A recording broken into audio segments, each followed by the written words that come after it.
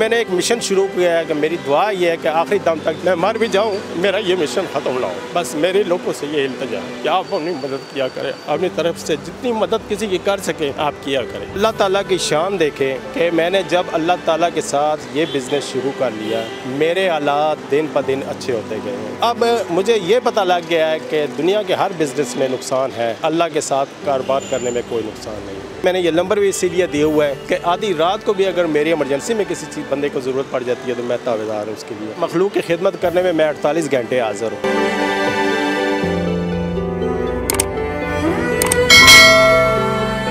असलम नाजरीन, आप देख रहे हैं उसाफ डिजिटल और मैं हूँ रुकैया नेम। नाजरीन, आपको जैसे कि एक बाइक नज़र आ रही है, जिसके ऊपर एक पोस्टर लगा हुआ है, जहाँ लिखा हुआ है, गरीब और माजूर मरीज़ों के लिए फ़्री सर्विस का आगाज़ है। इस बाइक को चलाने वाले का नाम मोहम्मद करीम है। यही वजह है कि इस, ये बाइक जो है करीम बाइकिया के नाम से जानी जाती है।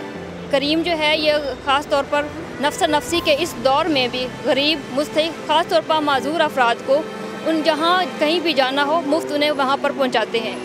मेरे साथ आज मोहम्मद करीम मौजूद हैं, उनसे बात करते हैं, उनसे यह जानते हैं कि ये सिलसिला जो है, उन्होंने कब शुरू किया था और उन्हें यह सब करके कैसा लगता है। अस्सलाम वालेकुम वालेकुम अस्सलाम। सर, बताइएगा कि आपने एक पोस्टर लगाया हुआ है जिस पे लिखा हुआ है, गरीब और मुस्तक जो अफराद हैं, ख़ासतौर पर मजदूर अफराद जो हैं, उनके लिए आप फ्री सर्विस प्रोवाइड करते हैं। ये सिलसिला आपने कब शुरू किया? कैसे शुरू किया? छोटी सी जॉब कर रहा था। तो कोरोना में ये हो गया कि जॉब भी तकरीबन ख़त्म हो गई। तो उसके बाद ये हो गया कि मैं मुख्तल किस्म की मजदूरियाँ वगैरह कर रहा था, कभी क्या करता, कभी क्या कर जाता तो इतफाक़न एक दफ़ा मैं कहीं जा रहा था तो मेरा पेट्रोल ख़त्म हो गया। पेट्रोल ख़त्म हुआ तो मेरी ख़ुददारी ये नहीं कर सकता था, बर्दाश्त कर सकता था कि मैं किसी से मदद मांगूं कि मुझे पेट्रोल डाल दें यार मैंने जाना है, मेरा पेट्रोल ख़त्म हो, क्योंकि मेरे पास पैसे थे ही नहीं। तो इतफाक़न मैं आठ से दस किलोमीटर तक मैं पैदल मैंने सफ़र किया इस रास्ते में। तो घर आया हूँ तो मैं बड़ा परेशान होकर सोचना शुरू कर दिया कि अगर मेरे जो इंसान जो इतने ज़्यादा कमाता था और कोरोना ने उसको हालात इस पोजीशन में ले आया तो ऐसे लोग अभी भी होंगे जिनकी सिर्फ़ मजदूरी करते हैं और कोरोना की वजह से मजदूरी भी नहीं कर रहे तो मैंने कहा कि मेरे पास तो अब कोई और ताकत तो या वसीला तो नहीं है कि मैं उसको कोई अल्लाह के रास्ते में एक बिज़नेस शुरू कर दूँ। तो मेरे पास एक ये मोटरसाइकिल ही था, जिस पे मैं बाइकें वगैरह भी कर रहा था। तो मैंने क्या कर लिया कि ये एक छोटा सा इश्तहार बनवा लिया और इसके ऊपर लगा दिया कि ज़रूरतमंद लोगों की मैं मदद कर सकूँ।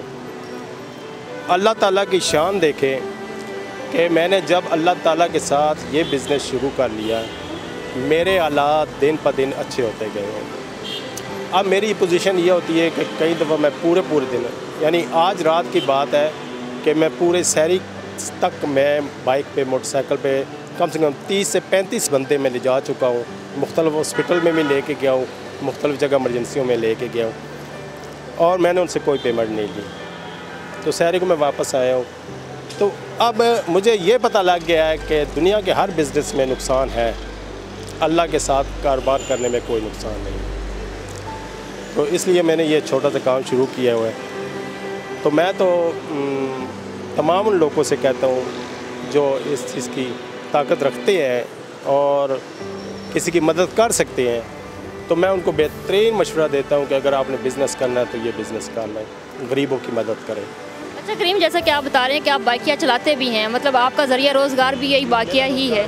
तो आप किस तरह से मतलब करते हैं कि कौन से लोग मुस्तक हैं, किन लोगों को आप फ्री सर्विस देते हैं, कोई टारगेट रखा हुआ है या वो किस तरह से आप उसको क्लासीफाई कैसे करते हैं? नहीं, मैं, मैंने कोई टारगेट नहीं रखा, क्योंकि मेरा रब ने अगर टारगेट नहीं रखा हुआ इस चीज़ का, कि ये बंदा अच्छा है या बुरा, और अल्लाह ताला अगर रिज़क इंसान को दे रहा होता है तो मेरी हैसियत क्या है? मैं तो एक नाचीज़ इंसान हूँ। मैंने कोई टारगेट अगर कोई मालदार बंदा भी मेरे साथ बैठ जाए और वो झूठ बोल दे कि मैं गरीब हूँ। मैं गरीब हूँ तो मैं उसको, उससे कोई पेमेंट नहीं लेता। मैं कभी ये सोचा भी कभी नहीं कि ये बंदा पैसे वाला है या गरीब है। जिसने बैठना है, जिसने देने हैं, दे दे, नहीं देता, ना दे। मेरा कोई ये नहीं है कि लाजमी पैसे देने हैं, या मैंने उससे पहले पूछना है कि जी आप पैसे, आप मालदार हैं या गरीब हैं? नहीं। जो बंदा भी ये गाड़ी खड़ी है जो बंदा भी आके मर्सडीज़ गाड़ी से उतर जाए मेरे साथ बैठ जाए और मुझे पैसे ना दे मैंने उससे मांगने ही नहीं। ना मैं माँगता हूँ। जिसने दे दिए मैं ले लेता हूँ जिसने ना दिए मैं नहीं माँगता हूँ। अच्छा यानी कि आपका ये पॉइंट है जहाँ पर आप खड़े हैं जो भी आके बैठ जाए आपको कहे कि मैंने फ़लाँ जगह पर जाना है फ़लाँ हॉस्पिटल में जाना है आप पहुँचा देते हैं पैसे नहीं डिमांड करते। मैं पहुँचा देता हूँ मैं कोई इनकार नहीं करता बल्कि मैंने ये नंबर भी इसीलिए दिया हुआ है कि आधी रात को भी अगर मेरी इमरजेंसी में किसी चीज़ बंदे को ज़रूरत पड़ जाती है तो मैं तावेदार हूँ उसके लिए। और उनके साथ मैं जाता हूँ हॉस्पिटल जिस तरह मैंने बताया कि आज भी मैं दो केस ऐसे थे जो बहुत ज़्यादा इमरजेंसी थे। एक रावल हॉस्पिटल लेके गया हूँ और एक मैं बेनज़ीर हॉस्पिटल लेके गया हूँ। और उनको इमरजेंसी तक पहुँचाया और उनको वहाँ पर दाखिल करवा के वापस आ गया। अच्छा आपके घर का गुजर बसर कैसे होता है? आपके घर का गुजर बसर कैसे होता है? गुजर बसर भी इसी में होता है मेरा।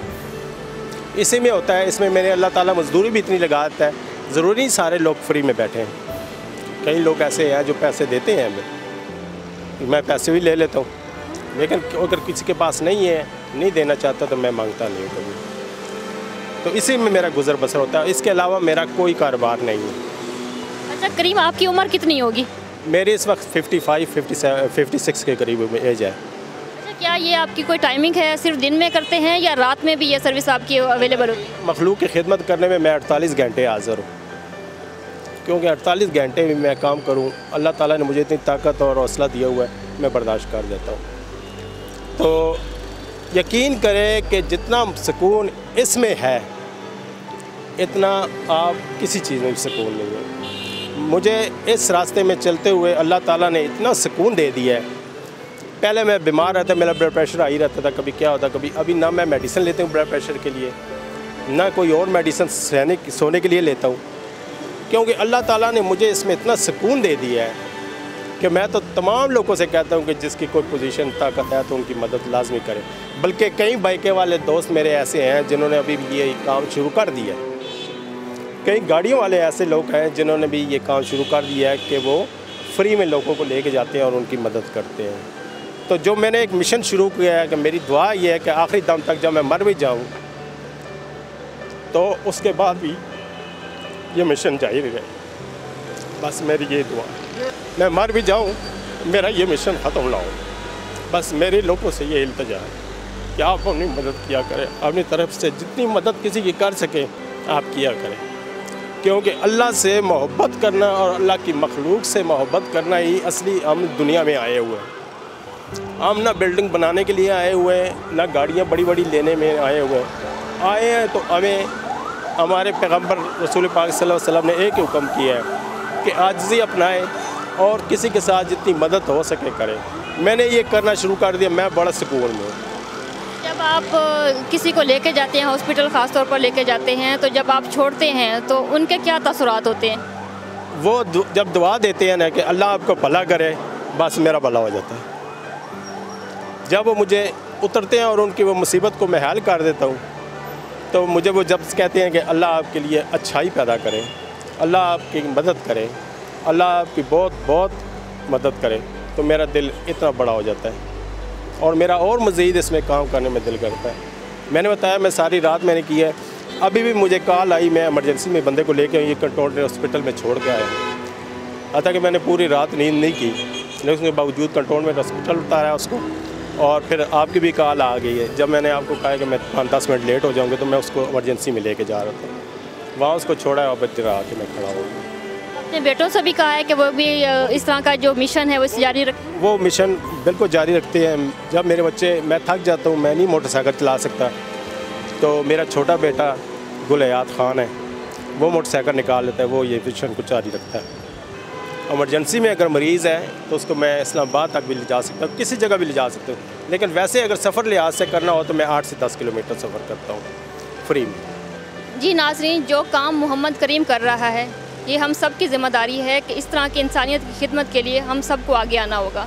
कैमरामैन अहमद ख़ान के साथ रुकैया नईम और साफ़ डिजिटल, इस्लामाबाद।